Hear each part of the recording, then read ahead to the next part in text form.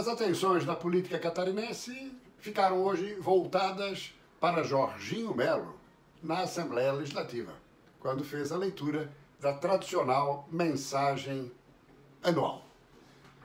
Jorginho Melo, que reiterou seus compromissos pelo fim das filas das cirurgias eletivas.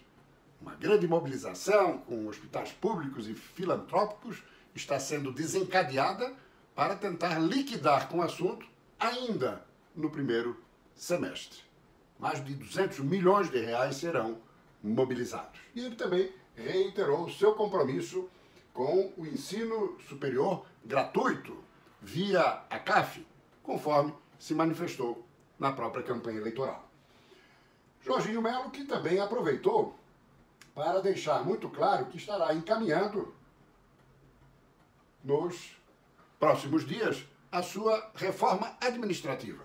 E ele aqui coloca muito claramente que ela prevê a criação, recriação, compactação ou desmembramento de estruturas de governo para diminuir e otimizar os gastos e imprimir a digital de uma nova gestão, garantindo que não haverá gastos extras com essas modificações no organograma governamental.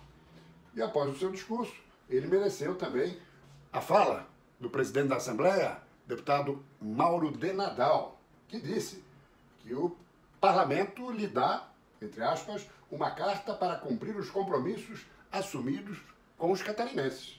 Por isso faremos o possível para que todos os textos que aqui chegarem possam ser analisados sob o voto soberano e o mais rápido possível, dentro de um contexto de parceria entre executivo e legislativo nessa nova construção.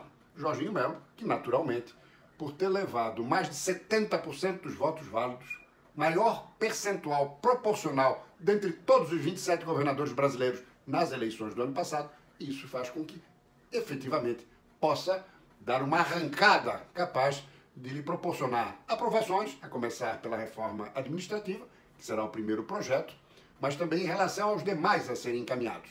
Jorginho Melo, que trabalha aí com uma bancada de sustentação no Legislativo que deve girar em torno dos 30 deputados, podemos chegar a 34, 35.